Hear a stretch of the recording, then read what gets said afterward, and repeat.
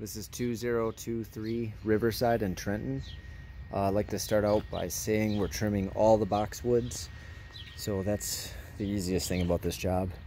Um, out here we'll be changing, we'll be taking out this edge restraint and we'll be putting in our edge restraint here.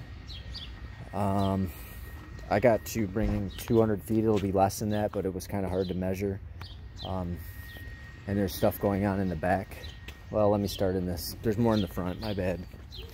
Um, he's gonna mark a couple of these stumps. We're gonna bring the stump grinder and we're gonna grind these stumps out. Um, they're hard to locate, but they're somewhere. He'll, he'll, he's gonna locate them and we're gonna grind them out in the front. Um, the sod is going to start here. I'm gonna have 10 yards of dirt delivered and it's about 3,500 square feet of sod. Um, and it's all being sodded through here. This is gonna be gone and she wants a straight line through here, but she, you're gonna have to discuss it with her how to make the sod lines. Um, so this is area that's gonna be sodded. These are the boxwoods that need to be trimmed. And they wanna push the grade that way because they're having water come up and over. She might have to move some dirt around. Um, make the circles around the trees, make a circle around that tree, and we're sodding all the way up to the to the deck. And bring this area down right here. And move it over into the into the grade and get it graded. Same thing with that over there. And in this area we're stump grinding out roots that you see here. Um, and then this area is the tricky part. We want to grade this whole area down below the level of the patio. But we're also removing this patio here and we're gonna rescreed it and relay it.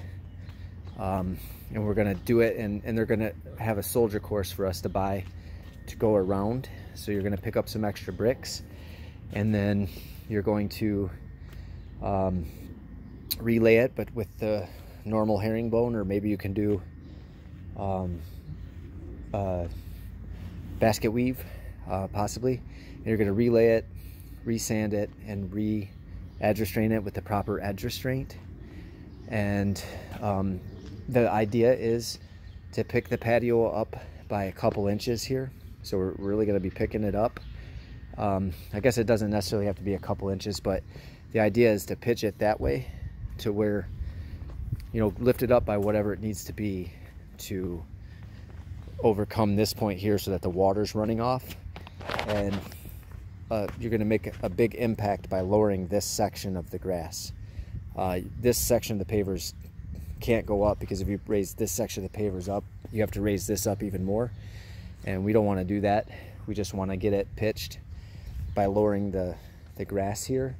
And we're going to be raising this, probably a portion, so that kind of makes this area area sort of awkward.